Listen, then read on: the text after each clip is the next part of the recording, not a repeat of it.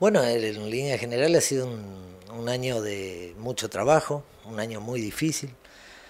Eh, no nos escapamos nunca a las situaciones del país, financieras, económicas, o sea que mucho menos a la situación del productor pequeño como el como nuestro, el, lo normal nuestro, que hay que estar atendiéndolo, ayudando, y indudablemente nos cuesta un montón de sacrificio.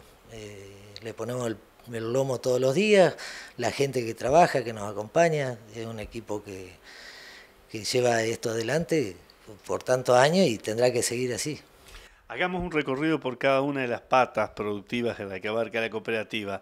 En materia de agricultura estamos transitando por estos días en plena campaña de granos gruesos. En línea general en la zona, ¿cómo se vienen dando? Eh, la campaña viene, el trigo va a cerrar bastante bien, a pesar de sus inconvenientes de fusario, ni que ha, tenido caída de rinde, pero dentro de todo va a cerrar el productor. La campaña gruesa viene con muchas perspectivas, lástima estos días la falta de agua, un poco se está haciendo sentir en, los maíces, en la siembra de soja. Eh, pero bueno, eh, todos tenemos la expectativa abierta a que venga un buen año y, que, que los gobiernos nos acompañen también un poco. En materia de producción animal, viene sabido que bueno, la cooperativa San Martín es uno de los socios de, Integrados Reina Fe, también de Frigorífico Pon Sur. ¿Este año cómo ha venido para la producción porcina? Este año realmente se empezó a mejorar un montón con el tema de las exportaciones, el precio del, cerdo levantó. Eh, todavía quedan secuelas del año anterior que se perdió, dio un déficit importante.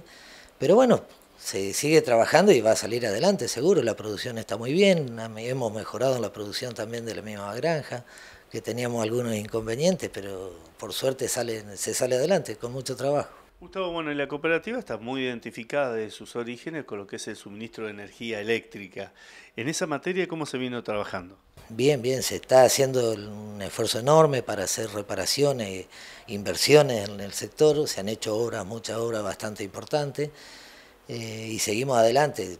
Eh, no todos los aumentos que se dieron en la tarifa se reflejaron en, nuestra, en nuestro sector, pero se ha seguido trabajando. Este, asimismo seguimos con la fábrica de poste, la cual, la, la cual aporta poste para nosotros y vendemos a las otras cooperativas.